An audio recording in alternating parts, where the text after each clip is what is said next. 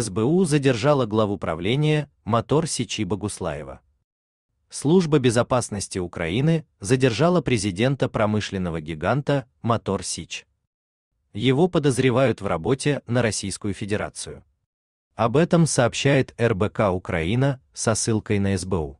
Источник РБК Украина в правоохранительных органах рассказал, что речь идет о главе правления Мотор Сичи Вячеславе Богуслаеве.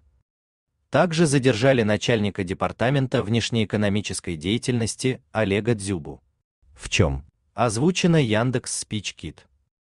Подозревают. Им объявили о подозрении по двум статьям Уголовного кодекса Украины. СТ 111.1 коллаборационная деятельность. СТ 111.2 пособничество государству-агрессору. Детали дела.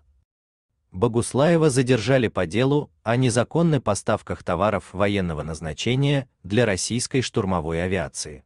По данным следствия, к сделке причастны руководители заводов Запорожья, которые действовали в сговоре с близкими к Кремлю представителями корпорации.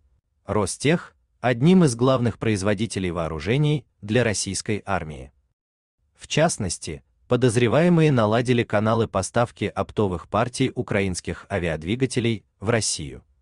Полученную продукцию россияне использовали для производства и ремонта российских ударных вертолетов типа Ми-8, Амч, ВН, Сапсон.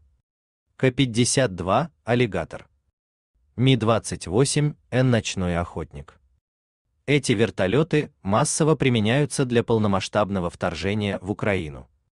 Какая была схема? Для генерация голоса выполнена с помощью Яндекс SpeechKit.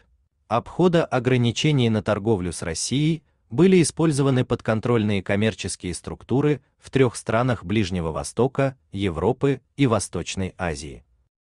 Именно эти компании отправляли заказ украинскому производителю якобы для своих нужд. Но после получения военной продукции посредники переправляли ее в Россию. Кроме того, россияне использовали своих иностранных подельников для ремонта и обслуживания авиатехники с использованием украинских запчастей. Напомним, ранее СБУ задержала начальника Николаевской ритуальной службы, который оказался главой российской агентуры. Срочные и важные сообщения о войне России против Украины читайте на канале РБК Украина в Телеграм.